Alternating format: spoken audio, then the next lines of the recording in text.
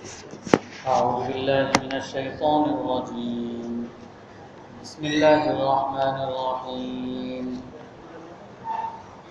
يا أيها الذين آمنوا لا تكونوا كالذين كفروا وقالوا وقالوا لإخوانهم إذا ضربوا في الأرض أو كانوا غزا لو كانوا لو كانوا عندنا ما ماتوا وما قتلوا ليجعل الله ذلك حسرة في قلوبهم. والله يحيي ويميت. والله بما تعملون بصير. ولئن قتلتم في سبيل الله أو متم لمغفرة من الله ورحمة ورحمة خير مما يجمعون. ولئن متم أو قتلتم لإلى الله تحشرون صدق الله العظيم আল্লাহ তালা বলেন হে মোমেনগণ তোমরা কাফেরদের মতো হইও না যারা বলে তাদের ভাইদেরকে যখন তারা জমিনে সফর করে অথবা যোদ্ধা হয়, তারা কি বলে? যদি তারা আমাদের কাছে থাকতো, তবে তারা মৃত্যুবরণ করত না এবং নিহত হতো না। আর এই কথা এই জন্য যাতে আল্লাহ তালা এই কথাকে তাদের অন্তরের মধ্যে আফসুসের কারণ বানান। আর আল্লাহ তালাই জীবন দান করেন এবং মৃত্যু দান করেন। আল্লাহ তালা দেখেন যা তোমরা করো।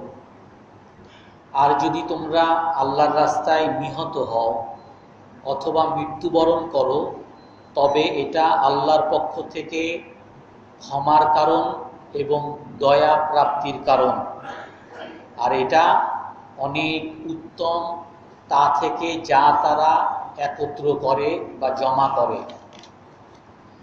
আর যদি তোমরা মৃত্যুবরণ করো অথবা নিহত হও, তবে আল্লাহর কাছেই তোমরা একত্রিত হবে। এই আয়াত উহুদের যুদ্ধের ক্ষেত্রেই অবতীর্ণ হয়েছে। উহুদের যুদ্ধে যখন মুসলমানগণ পরাজিত হন, মুসলমানগণের মধ্যে অনেকেই মৃত্যুবরণ করেন, অনেকেই শহীদ হন, অনেকে আহত, ক্ষতবিক্ষত হন। তো এই অবস্থায় মুনাফিকরা কাফির, মুনাফিকরা মুসলমানদেরকে আরও হতাশ করতেছে। মুনাফিকরা আগে বলছিল যে তোমরা এই উহুদের যুদ্ধে যেও না। আমরা মদিনাই থেকেই যুদ্ধ করি। যদি উহুদের ময়দানে যাও, তো মুসলিকদের দল অনেক ভারী, তাদের কাছে অনেক অস্ত্র শস্ত্র আছে। তোমরা সেখানে মারা পড়বা, তোমরা সেখানে নিহত হবা, মৃত্যুবরণ করবা, এই যুদ্ধে যেও না, তারা মানা করছিল। তো তারা এখন সুযোগ পেয়েছে। যখন মুসলমানগণ এই যুদ্ধে এসে অনেক মুসলমান শহীদ হয়েছেন, অনেক মুসলমান মৃত্যুবরণ করেছেন, তো ওই সময় এখন মুনাফেকরা তারা মুসলমানদেরকে আরও হতাশ করার জন্য, মুসলমানদের মনোবল ভেঙ্গে দেওয়ার জন্য, তাদেরকে ইসলাম থেকে দূরে সরানোর জন্য এখন বলতেছে, দেখো দেখো, আমরা না বলছিলাম, এই যুদ্ধে যেও না। এই যে যারা যারা আজকে মারা গেছে, তারা যদি এই যুদ্ধে না যেত, আমাদের কথা যদি তারা শুনতো, তাহলে তো তারা আজকে মৃত্যুবরণ করতো না। আজকে তো আর এরকম নিহত হইতো না। আমাদের কথা শুনে নাই, এখন দেখো। এখন তো অনেক ই করলা মাতবরি করলা এখন দেখো, এরকম আমাদের সমাজেও অনেকে বলে যে এই যুগে সুদ ছাড়া কেউ চলতে পারে না। আর সে বলে যে, না, আমি সুদ খাব না। সুদের দ্বারা আমার উপার্জনকে আমি হারাম করব না। দেখি তুমি কি করতে পারো, দেখি। এখন যখন সুদ ছাড়া সে ব্যবসা করে, তো তার মূলধন কম। এক মাস, দুই মাস, তিন মাস আর সে টিকতে পারে না। হয়তোবা না টিকার কারণে হয়তোবা ব্যবসা ছেড়ে দিছে।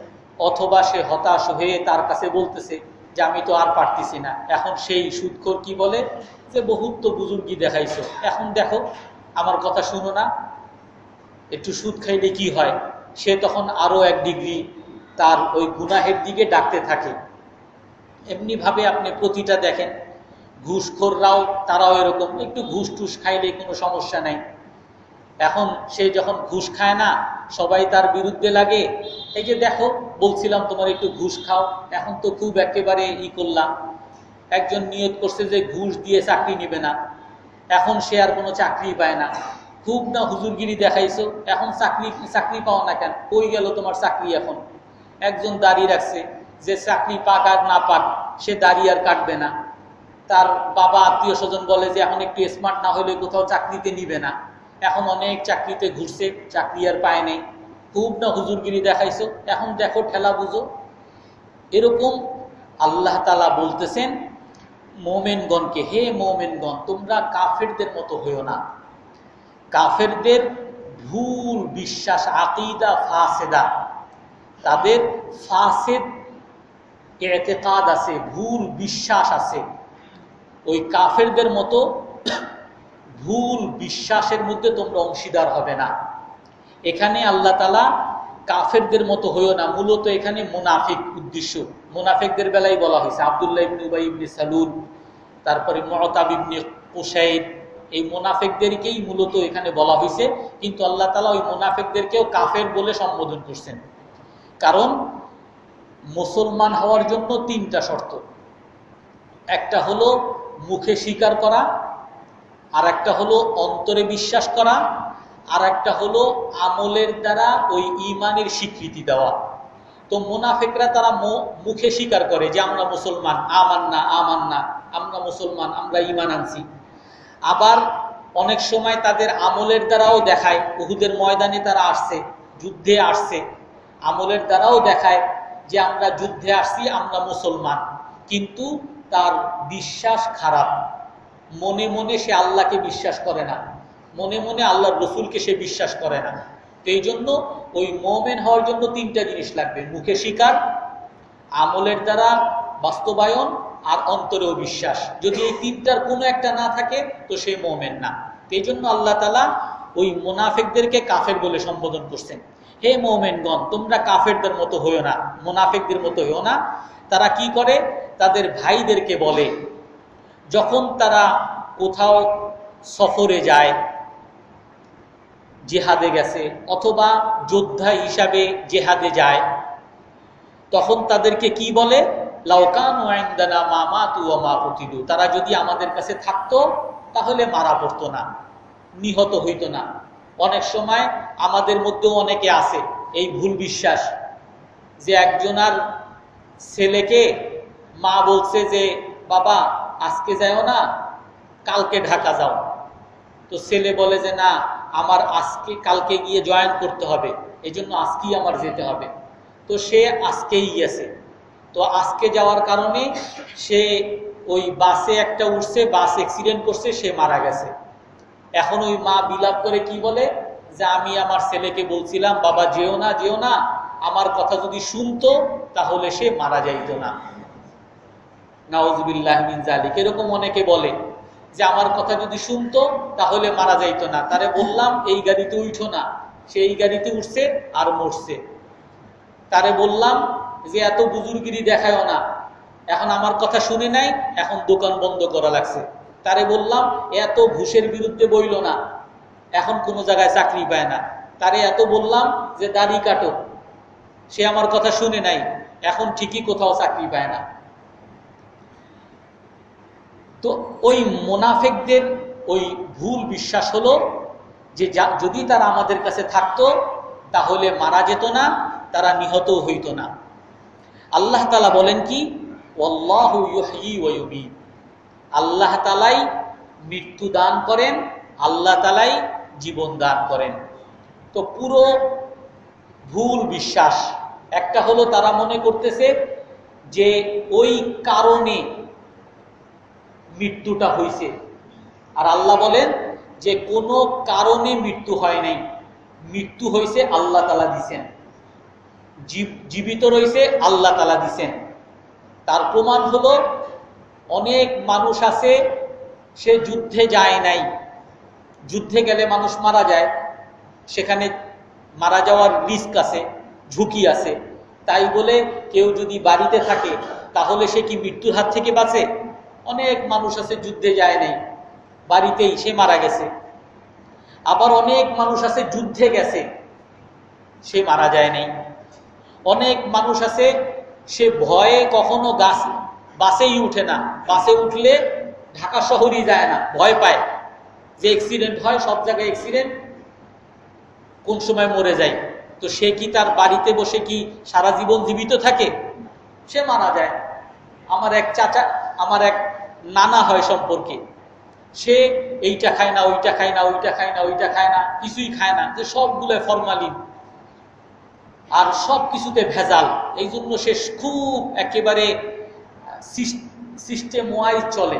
কোনো মানে যেগুলো ঝুঁকিপূর্ণ কোনো খাবার খায় না।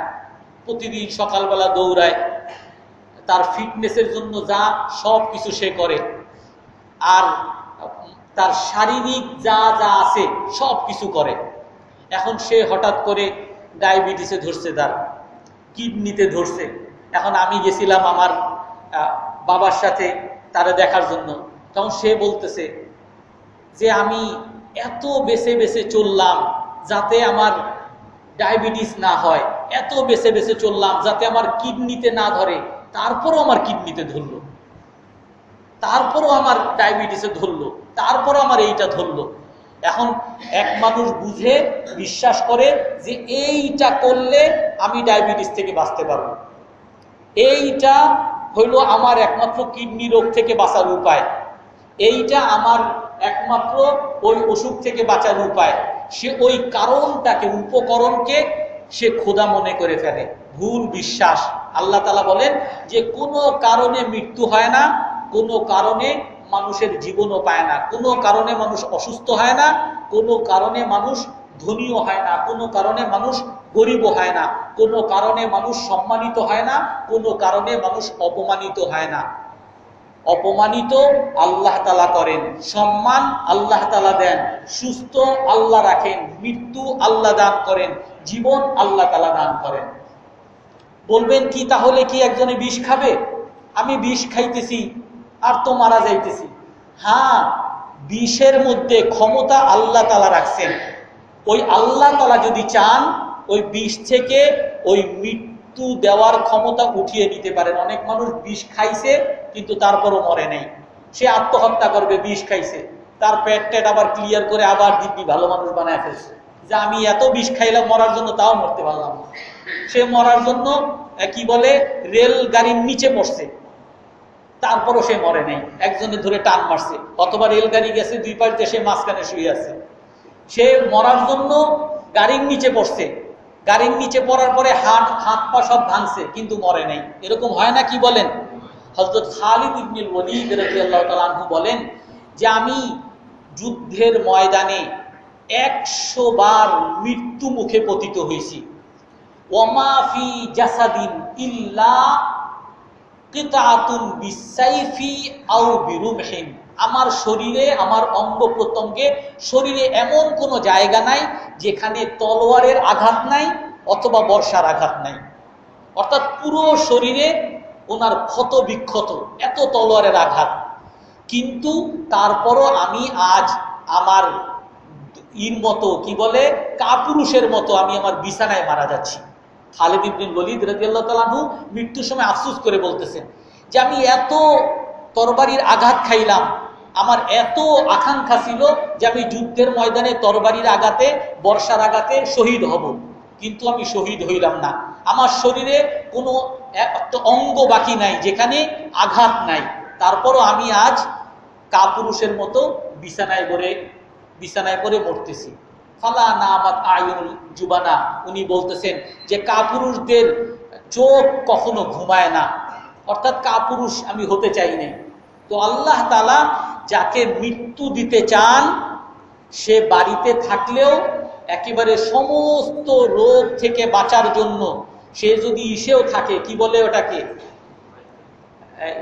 হাসপাতালের মধ্যে যে ইসে রাখে আইসিও আইসিইউতেও যদি থাকে তারপরও আল্লাহ তালা তাকে মৃত্যু দিতে পারেন। আইসিইউতে আছে ডাক্তাররা আইসিইউ ডাক্তাররা দেখায়, এই যে দেখেন হার্টবিট হার্টবিট আসলে আরও পাঁচ দিন আগে মারা গেছে। আইসিইউতে রেখে বাস দেখায় হার্টবিট আছে, এরকম করে পাঁচ লাখ টাকা বিল করে বাস ধরায় দেয়। তো আইসিইউতে থাকলেও আল্লাহ তালা মারতে পারেন। আর আল্লাহ তালা ওই যুদ্ধের ময়দানে গাড়ির নিচে, রেলগাড়ির নিচে ক্যান্সারের রুগী, এরকম অনেক আছে না ক্যান্সারের রুগী এখনও দিব্যি চলাফেরা করতেছে? আছে না কত? এরকম অনেক আছে, তিনবার বাইপাস সার্জারি হয়েছে, এখনও দিব্যি চলতেছে। এমন অনেক আছে যে কিডনি দুইটাই নষ্ট। আমার পরিচিত একজনের কিডনি দুইটাই নষ্ট তারপরে চলতেছে, আল্লাহ চালাইতেছে। তো এই জন্য মুসলমানের বিশ্বাস হলো যে সমস্ত ক্ষমতা আল্লাহর হাতে। মৃত্যু আল্লাহর হাতে জীবন আল্লাহর হাতে, সম্মান আল্লাহর হাতে, ধন আল্লাহর হাতে, অসম্মান আল্লাহর হাতে, দারিদ্রতা আল্লাহর হাতে। আর কাফেরদের, মোনাফেকদের বিশ্বাস হলো যে না উপকরণের হাতে। আর আল্লাহ তালা বলেন যে ওই কাফেররা ওই ভুল বিশ্বাস করার কারণে এই ভুল বিশ্বাসকে আমি তাদের জন্য যে আল্লাহ হাসরাতান ফি আল্লাহ তালা এই ভুল বিশ্বাসকে তাদের অন্তরের মধ্যে আফসুসের, টেনশনের কারণ বানিয়ে দিছে। আজকে পৃথিবীর মধ্যে সবচেয়ে বড় রোগ হলো মানসিক রোগ, টেনশনের রোগ। বলে আপনার ডায়াবেটিস টেনশনের কারণে, আপনার কিডনি নষ্ট টেনশনের কারণে, আপনার হার্ট অ্যাটাক টেনশনের কারণে। বলে না কি বলে? ডাক্তাররাই তো বলে এগুলো। আপনার কোলেস্টেরল বাড়ছে টেনশনের কারণে। সমস্ত রোগ টেনশনের কারণে। আপনার মাথা ব্যথা টেনশনের কারণে। আর এই টেনশন আল্লাহ তালা বলেন, কিসের দ্বারা? কারণ কি? টেনশন আসার কারণ কি? ওই মানুষের মধ্যে ভুল বিশ্বাস। মানুষের মধ্যে যখন এই বিশ্বাস হবে, মৃত্যু আল্লাহর হাতে। কিসের টেনশন আমার শত্রু আমার হুমকি দিলেও কি আর না দিলেও কি? ওই বেটার হাতে আমার জীবন নাই। জীবন আল্লাহর হাতে। মৃত্যু আল্লাহর হাতে। ও আমারে কি মারবে? ওই, ও ইসে কি হবে? ওই ফরমালিন, একশোটা খাইলেও কি হবে? ফরমালিনে আমারে কি মারবে? মারবে তো আল্লাহ তালা এই জন্য সে নিশ্চিন্তায়, এখন নাই ফরমালিন ছাড়া কিছু, ফরমালিনই খাবে। আর যে একেবারে, না, মৃত্যু, জীবন্ত ওই ফরমালিন কি বলে কলুষমুক্ত খাবারের মধ্যে, এই জন্য সে শুধু এইটা কিনবে না, ওইটা কিনবে না, ওইটা বাঁচবে ওইটা বাঁচবে, কিন্তু শেষ মুহূর্তে তার ওই ওই রোগী ধরবে। এই জন্য ওই টেনশন মুক্ত যদি কেউ থাকতে চায়, আজকে সবার যে দোকানদার, তার টেনশন ব্যবসা হয় না না হয়, কি হয় না না হয়, চাকরি থাকে না না থাকে প্রমোশন হয় না না হয়, বেতন বাড়ে না না বাড়ে, বসে চাকরিতে রাখে না না রাখে টেনশন টেনশন কারণ সবাই বিশ্বাস করতেছে এই এই দোকানের হাতে সমস্ত ক্ষমতা, বসের হাতে ক্ষমতা, আর আমার, কি বলে, নেতার হাতে ক্ষমতা, আমার ওই পুলিশের হাতে ক্ষমতা, অমুকের হাতে ক্ষমতা, এই বিশ্বাস করে আছে, যার কারণে টেনশনে সে মরতেছে। কিন্তু এই বিশ্বাস যদি হইতো, ওই দোকানের কাছে আমার রিজিক নাই। রিজিক আল্লাহর হাতে। বসের হাতে আমার প্রমোশন নাই প্রমোশন আল্লাহর হাতে। বেতন ওই চাকরিতে নাই বেতন আল্লাহর হাতে। আমার সুস্থতা ওই হাসপাতালে নাই, ডাক্তারের কাছে নাই, সুস্থতা আল্লাহর হাতে। আমার সম্মান ওই টাকা পয়সার মধ্যে নাই, ক্ষমতার মধ্যে নাই, আমার ওই দল করার মধ্যে নাই, সম্মান আল্লাহর হাতে। এই বিশ্বাস যদি কেউ অন্তরের মধ্যে বসাইতে পারে, তখন তার আর কোনো টেনশন নাই। সে নিশ্চিন্তায় একেবারে জীবন যাপন করতে পারবে। এই জন্য আল্লাহ তালা বলতেছেন যে আল্লাহ তালা এই ভুল বিশ্বাসকে যে উপকরণের হাতে ক্ষমতা, উপকরণ মারতে পারে, উপকরণ জীবন দান করতে পারে, এই ভুল বিশ্বাসকে আল্লাহ তালা মানুষের অন্তরের মধ্যে টেনশনের কারণ বানিয়েছে। আর আল্লাহ তালা দেখেন তোমরা যা করো। আমরা কি করি? আমি মুখে মুখে বহু বয়ান করি, বয়ান করতে পারি। কিন্তু যখনই আমার কেউ একটা গালি দেয়, তখনই আমার পরীক্ষা শুরু হবে। আসলে আমি কি ওই গালিকে যে আমাকে গালি দেয়, তাকে আমি উপকরণ মানছি, নাকি আমি আল্লাহকে ক্ষমতাবান মানছি? ওই গালি দিলেও আমার সম্মান কমবে না। আল্লাহ যদি আমার সম্মান রাখে। আর গালি দিলেও আনারে যদি আমি আরও দশটা বলি তো এর দ্বারা আমার সম্মান বাড়বে না। আল্লাহ বরং আরও অপমানিত করবে। দেখো দেখো, হুজুর মানুষ আবার মারামারি করে। মনে করছিলাম, ভালো মানুষ, এ ভদ্র মানুষ, এখন দেখো আল্লাহকে মারামারি করে। তো আমি তার এই দশটা বললে আমার সম্মান বাড়বে না। ওর আমার, ওই সময় যদি বিশ্বাস হয়, সম্মান আল্লাহর হাতে। ওই লোক আমার বললেও আমার সম্মান কমবে না, আর আমার প্রশংসা করলেও আমার সম্মান বাড়বে না। তখন আমি ওই কারও সাথে লাগতে যাব না, আর আমার ওই তার গালিগালার গালিগালাজের দ্বারাও আমি মনে কষ্ট পাবো না, হতাশ হব না। আমি আমার পথে চলতে থাকব। ওয়ালাইম মুত্তুম আউফি সাবিরিল্লাহ আল্লাহ তালা এখন বলেন যে, এক তো হলো, হে মুসলমানরা, তোমরা আল্লাহর রাস্তায় শহীদ হইছ। এই কাফেররা তোমাদেরকে বিভ্রান্ত করতেছে যে, তোমরা যদি বাড়িতে থাকতা তাহলে এরকম মারা পড়তা না। এক তো হইল এটা ভুল বিশ্বাস, এরকম ভুল বিশ্বাস করবা না। দ্বিতীয়ত, এখন তোমরা যে মারা পড়লা, তোমরা যে শহীদ হইলা, তোমরা ঠকলা না জিতলা? আমি ঘুষ যে খাইলাম না, ঘুষ না খায়া আমি যে চাকরি পাইলাম না, আমি কি ঠকলাম না, জিতলাম? আমি সুদ দিলাম না, সুদ না নিয়ে যে আমার দোকান ছাড়া লাগল, এখন আমি ঠকলাম না, জিতলাম। আমি দাড়ি রাখছি, দাড়ির কারণে চাকরি পাইলাম না। দাড়ির কারণে আমার পুলিশে ধরে নিয়ে গেল, মিথ্যা মামলা দিয়ে দিল। এখন সবাই তো আমারে বলে, তোরে এত বলছিলাম দাড়িগুলা কাট। এখন তো আমাদের কথা শুনুস এখন খেলা খা। এখন ওই মুহূর্তে আমার অন্তরের মধ্যে দেখা বিষয় যে আমি এখন ঠকলাম না, জিতলাম। আমার অন্তর কি বলে? এখানে আল্লাহ তালা বলেন, হে মুসলমানরা, তোমরা যারা শহীদ হইছো, তোমরা যারা মারা পড়ছো ওলাইম কুতিল তুম ফি সাবিরিল্লাহ অবুত্তুম তোমাদের মধ্যে যারা আল্লাহর রাস্তায় শহীদ হইছো অথবা মারা গেছো তোমরা এই শহীদ হওয়ার কারণে আল্লাহ তালা তোমাদের পিছনে সকল গুণা মাফ করে দিছে আর আল্লাহ তালা তোমাদেরকে তার রহমতের ছায়া তলে বেষ্টন করে নিছে আর এই তুমি শহীদ হওয়ার কারণে আল্লাহর ক্ষমা পেয়ে যাওয়া আল্লাহর রহমত পেয়ে যাওয়া এটা অনেক উত্তম যা তারা জমা করে। দুনিয়ার মানুষ ওই ঘুষখোর, টাকা যত জমা করছে ব্যাংক ব্যালেন্স করছে, এর চেয়ে অনেক ভালো আমি সৎ রয়েছি একটা পয়সা ঘুষ খাই নেই। দুনিয়াতেও ভালো, আখেরাতেও ভালো। ওই সুদখোর দশটা দোকান করছে, আমি একটা পয়সা সুদ নেই নাই, আমি একটা দোকান নিয়েই চলছি, ওর চেয়ে হাজার হাজার গুণ দুনিয়াতে আল্লাহ তালা আমাদের সুদ দিবেন। আমার ছেলে মেয়ের মধ্যে সুখ দিবেন, আমার শরীর সুস্থতার মধ্যে সুখ দিবেন। এর চেয়ে অনেক অনেক গুণে দুনিয়ায় আল্লাহ তালা ভালো রাখবেন, আখেরাতেও আল্লাহ তালা ভালো রাখবেন। আমি মারা গেছি, আমি শহীদ হয়েছি, হকের জন্য শহীদ হয়েছি। আল্লাহ তালা আমাকে দুনিয়াতেও শহীদ আর আখেরাতেও একেবারে বিনা হিসাবে জান্নাত। আর ওই বেটা যে দুনিয়াতে রয়েছে, টাকা পয়সার মালিক, ক্ষমতার মালিক আর ধন দৌলতের মালিক ও দুনিয়াতেও অপমানিত আর মরার সাথে সাথে প্রতিটা টাকার জন্য জিব্বা বের করে টানবে। ফেরেস তারা ধরে ধরে আর বারোটা বাজাবে।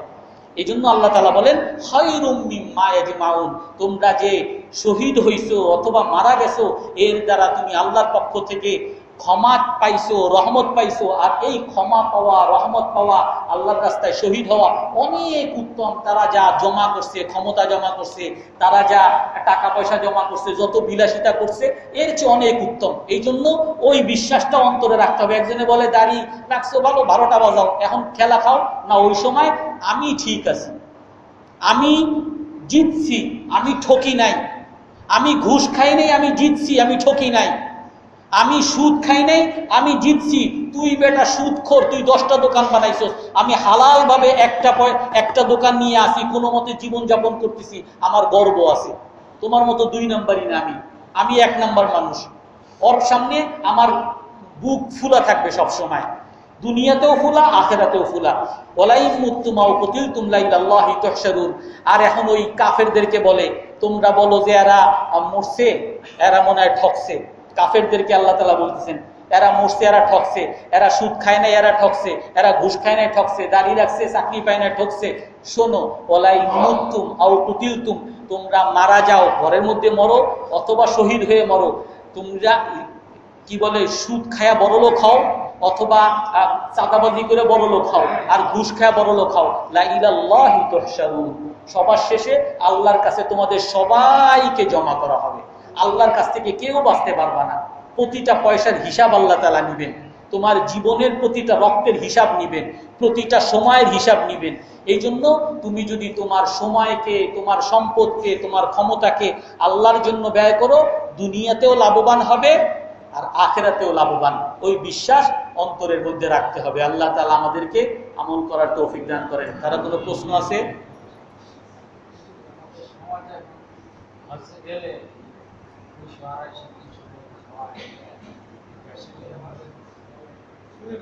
আপনাদের দেশে খাওয়ায়, আমি তো কই কোনো হাজি সাহেবের এরকম খাওয়া পাই নাই।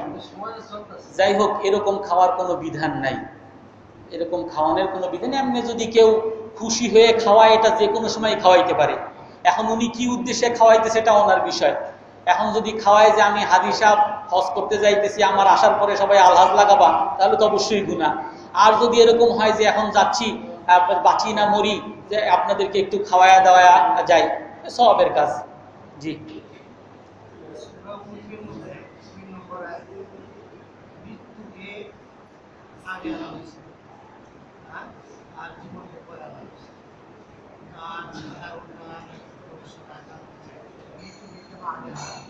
আচ্ছা। মৃত্যুকে কেন আগে আনা হয়েছে? আচ্ছা এটা দেখতে হবে আমার। পড়ছিলাম আমি, এখন ভুলে গেছি। বুঝছি বুঝছি। ঠিক আছে, এটা দেখা আরও ভালো করে বলব না। আচ্ছা ঠিক আছে, বিস্তারিত ব্যাখ্যা। হ্যাঁ? বুঝি নাই। ইমামের পিছনে? ও, ইমান, আমি শুনতেছি ইমান। ইমামের পিছনে আচ্ছা। ইমামের পিছনে হানাফি মাজহাব অনুযায়ী আচ্ছা শেষ করতেছি, শেষ করতে দেন। ইমামের পিছনে হানাফি মাজহাব অনুযায়ী কি বলে, সুরে ফাতেহা ইমামের পিছনে নাই, পড়বে না। কারণ ওনাদের যেটা সর্বশেষ দলিল, সেটা হলো মাংকান আলাহু ইমাম ফাকরাতুল ইমামি লাহু কেরা। যার ইমাম আছে, ইমামের কেরাতি তার কেরাত। ওয়াইদা কুরিয়াল কুরআনু ফাস্তামিউ লাহু ওয়া কোরআনের মধ্যে আছে, যখন কোরআন পড়া হয়, তখন তোমরা কোরআন শুনো এবং চুপ থাকো। এই কারণে সমস্ত মাঝহাবে শুধু এই মাঝহাবে না, আপনার কি বলে আব্দুল্লাহ বিন বাজ বা যারা আছে, আবদুল্লাহ বিন তাইমিয়া ওনারাও ওনারাও বলেন, যখন নাকি ইমাম সাহেব জোরে কেরাত করে, জোরে কেরাত করে, তখন সবাই চুপ থাকবে। তখন শুনবে শুধু, তখন পড়বে না। বাকি যখন আস্তে পড়া হয়, সেই ক্ষেত্রে হানাফি মাঝহাবে আছে যদি আস্তে পড়া হয় ইমাম সাহেবের পিছনে যদি পড়ে, তাহলেও সমস্যা নাই। আর ওনারা পড়ে, ওনারা বলে যে পড়তেই হবে। হানাফি মাঝহাবে বলে হ্যাঁ পড়তেই হবে। ওনারা বলে পড়তেই হবে। আর হানাফি মাঝহাবে হলেও পড়লে পড়তেও পারে, না পড়লে কোনো সমস্যা নেই। সেটাই তো বললাম, যখন আসতে যখন আসতে, সেটা বলছি। যখন যেখানে আসতে সেখানে পড়তে হবে। এটা হলো ওই মাঝহাবে আর আমাদের এই মাঝহাবে হলো যখন আসতে, তখন পড়তেও পারে, নাও পড়তে পারে। কারণ কারণ তার দলিল বললাম যে হাদিসের মধ্যে আছে, যার ইমাম আছে, তার ইমামের কেরাতি হলো? তার কেরাত ইমাম পড়ছে মানে সে সুরে ফাতেহা পড়ছে। জি। প্রাইজ বন্ডের পুরস্কার, এটা তো হালাল না। এটা তো হালাল না। এটাও একটা সুদের মতো। জি শরীর টাকা কামাই যখন হয়তো এই জায়গায় সালাতে নামাজ পড়ে, নামাজ শেষ করতে হয়। এখানে কি তখন কি আমি কসম দিয়ে করব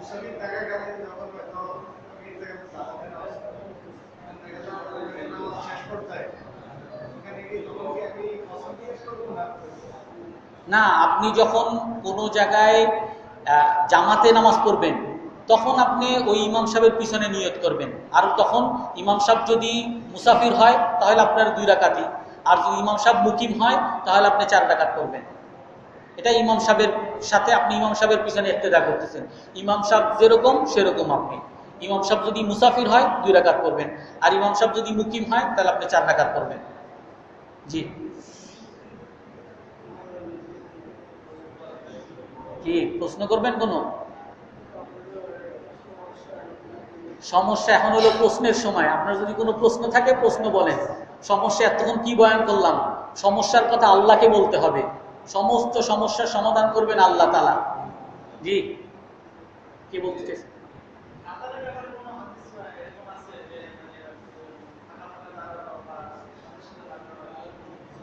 হ্যাঁ হাদিস আছে তো। হাদিসে আছে যে কাতার সোজা করো ইস্তাউ। তোমরা কাতার সোজা করো অসুদ্দুল খালাল। কাতারের মাঝখানে যেন ফাঁকা না থাকে এবং কাঁধে কাঁধ মিলিয়ে কাতার সোজা করো অসুদ্দু ওয়াহাদু বিল মানাকিব। কাঁধের সাথে কাঁধ মিলাও। এবং পা দেখে দেখে কাতার সোজা করো। হাজু বিল আকদাম এবং পা দ্বারা কাতার সোজা করো। তারপরে আছে যদি তোমরা কাতার বাঁকা করো, আল্লাহ তালা তোমাদের অন্তর বাঁকা করে দিবেন। এই জন্য কাতার সোজা করা অনেক বড় গুরুত্বপূর্ণ জিনিস। যদি ফাঁকা ফাঁকা দাঁড়ায়, আপনি বলবেন যে ফাঁকা ফাঁকা দাঁড়ালে মাঝখানে শয়তান বসে।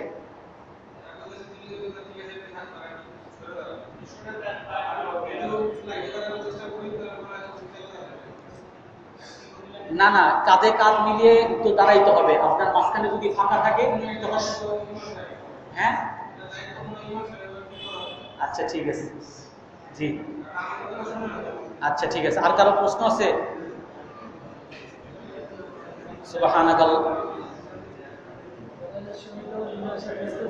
হ্যাঁ?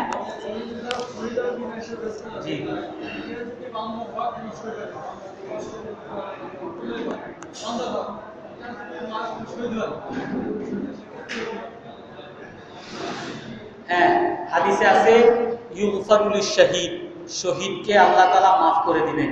শহীদের সকল গুণা মাফ করে দিবেন ইল্লাদ্দাইন সব গুণা মাফ করবেন, কিন্তু হাদিসি আছে, একটা জিনিস মাফ করবেন না, সেটা হলো ঋণ। মানুষের পাওনা দাওনা যদি থাকে, তার ওইটা মাফ হবে না। মানুষের যদি কোনো হক থাকে, তাহলে ওইটাও মাফ হবে না। জি।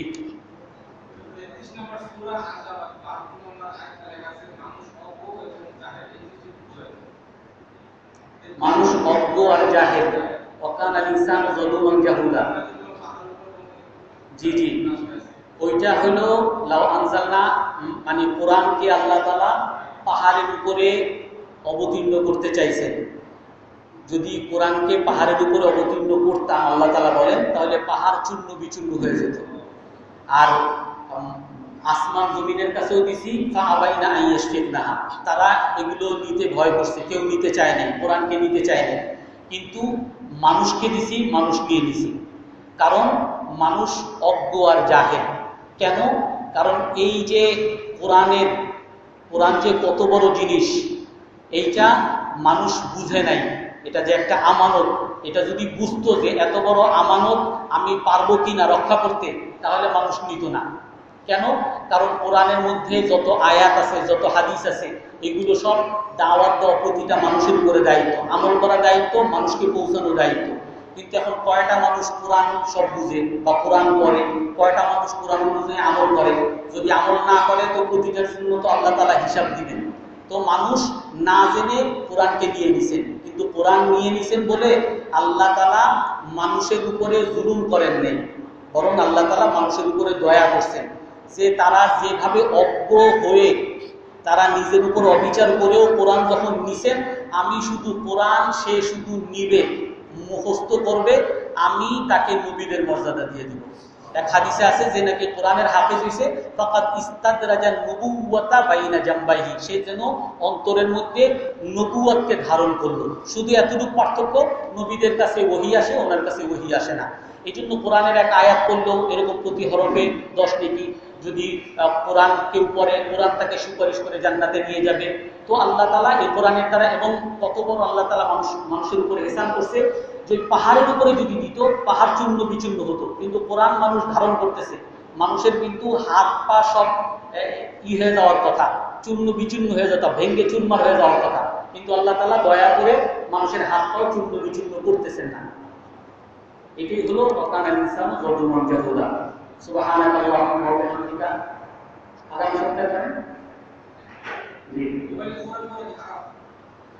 এটা আমি বলছি আগেও, মোবাইল যদি খোলা থাকে, তাহলে কোরআনের হুকুম। কোরআন যেরকম, অজু ছাড়া ধরা যায় না, ওই কোরআন মোবাইলকেও অজু ছাড়া ধরা যাবে না। মোবাইলকে যেরকম, কোরআন শরীফকে যেরকম সম্মান করে রাখতে হয়, নিচে রাখা যায় না, ওই মোবাইলকে খোলা রাখা অবস্থায় নিচে রাখা যাবে না। বাকি মোবাইলের মধ্যে ফাইল যদি ভিতরে থাকে, খোলা না থাকে তখন এটা কোরআন শরীফের হুকুম না, এটা মোবাইলের হুকুম। হারাম হবে কেন?